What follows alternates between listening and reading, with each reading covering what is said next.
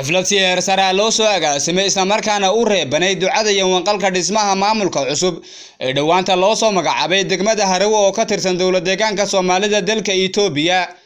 Xafladan oo ay soo agaasimeen waxgarad iyo dadweyne kala duwan oo ku nool degmada harawe xafladan oo ka qabsoontay caasimada degmada harawe ee dhar wanaaje.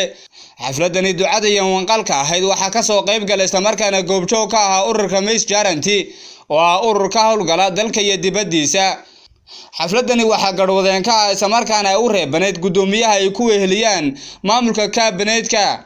Sidoo kale waxaa halkaasi iyakuna joogay odadhaqaameed uu hogaaminaya suldaanka guud suldaan cabdi daahir gaboobe iyo bulshada kala duwan ee degmada harawa rag iyo dumarba.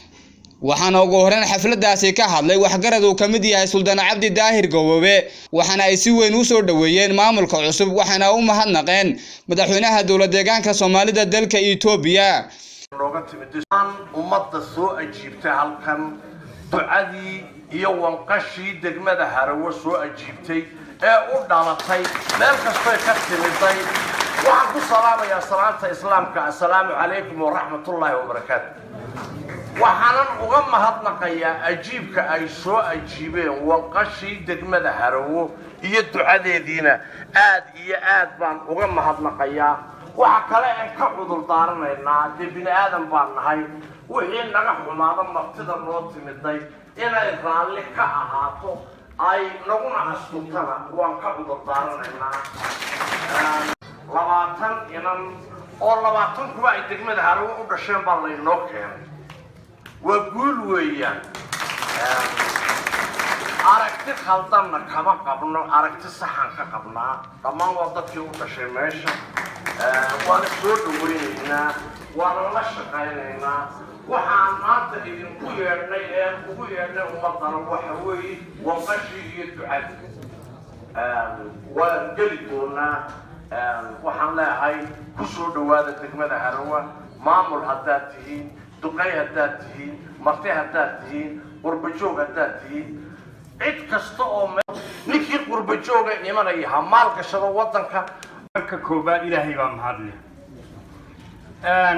marka labaad waxa aan salaamayaa dhammaan hadday kaamilad yihiin iyo haddii ay dadweynaha degmada harawe yihiinba waa saa waxaan ku salaamayaa salaanta islaamka. Assalaamu calaykum waraxmatullaahi wabarakaatu intaa kadib waan yar xanuunsan oo hadalka intaa ma dhaafin karaye anuu hal qodob baan ku yar horeyn halkaa qodob degmada harawe inta ay imatay ani qodobka iigu xumaay soo maray waxau ahaa horta horta mayd un baan ugu qaylsaday dhar wanaaj anu degmada dhar wanaaj mayd dhacay un baan ugu qaylsaday kolkaan xaaladda arkaye inteeda kale odayaal iyo xal kale oo reerka gudihiisa un baan ku maamulaya qabalega aan joogo. Markaan xaaladda degmada ka socotay arkay dib curashada maamulkii joogay marka aan arkay maalintaan u qaylsaday mayd baa dhacay.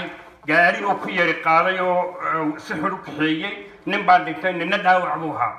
Guddoomiyihii degmada iyo hoggaankii baan la soo hadlay. Waxaan ku dhibtaasaa dhacdaye waxaan idinka baahan nahay gurmed macnaha waa waxaan ugu qayls wax mayd ahayn ugumaba qaylsanayn macnaha mayd baan ugu qaylsaday. Wuxuu guddoomiyihii ii jawaabay. Horta in video camera la soo qaado oo cajaladii lagu rido guddoomiyihii laftiisa la daawisiiyaa qurux badnay ow oo macnaha arko wuxuu iigu jawaabay maydku ha dambeeya jaar hawaday magaalada mu yaallaa buu yidhi wallaahi ereygaa been kama sheegayo ha ii jooga maydkee buu yidhi jaar hawaday magaalada ma yaallaa haa baan ku idhi cashadiina sii diyaari buu yidhi ereygaa been sheeg waa maalin jimci ilaahay ku noqay ma odhanay. Annaga oo sideed awr qabnay sideed awr oo raashinkii meel kasta ku bislaynay ayaa xurradiina laga qaado dadkii inaan wax siina awood u weyne dadkii martida ahayd ee meel kasta ka yimid inaan cuntadii gaarsiino guri walba intuu askar la hordhigay ayaa macal cuntadii weelkii lagu bixinayay weynay meel maray odayaashii iyo dadkii addoonka adduunka nooga yimid qaar baa gaajo kaga noqdaa cuntadii oo taala isku socodkii iyo adeegii dadkii bixinayay waa loo diiday inay dhaqdhaqaaqaan maantana waan iska socnaa ilaahay xamdigiisa weeyaan wax xorriyadda hawadan aan ku noolay haddaan weyno cidhidii baan ku galaynaa laakiin haddaad xorriyada ku dhaqdhaqaaqda weydo waxaana lagala sii wareegay meeshaba iyada xorriyadu saan lama tahay waa dilada saddex kun iyo lix boqol lahay ikhwati waxaad ogsoonaataan deegaankan aynu joognaa degmo maaha. Yacni waa afar degmo isa saaran weeye ummaduhu waxay degmo ku noqdaan bablationka tiradaa la eegaa. Markay tiradu intaa gaadhaba degmaa laga dhigaa. Degaanna kuma noqoto hawl kalena kuma noqoto. Maanta waxa weeyaan degaanka gobolkan meeshan aynu degannahay reerkanu degan yahay ee samaroon degan yahay waa saddex degmo isa saaran.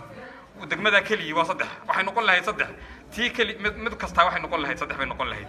Laakiin cadaadis lagu hayo awgeed baa sidaa loogu gelayay marka waa waxaynu u baahannahay waxaan la isku reeriix sidoo kale waxaa halkaasi ka hadlay xubno qurbajoog oo ka kala timid dalka dibaddiisa waxaanay ka dhawaajiyeen sida tan.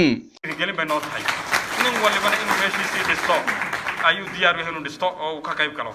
Anigu markaan tegey waxaan ku yidhi jagadaydii waxaan iibsaday laba kun iyo sideedii baan iibsaday. Maxaa jagada maantaan dhisayaa? Markaasaan meeshii tago maantaan soo geystay waana dhisaya halkana waxaan cid kasta oo joogto oon ugu baaqaynaa waana dhisi doonaa ikhwati waxaad ogsoonaataan.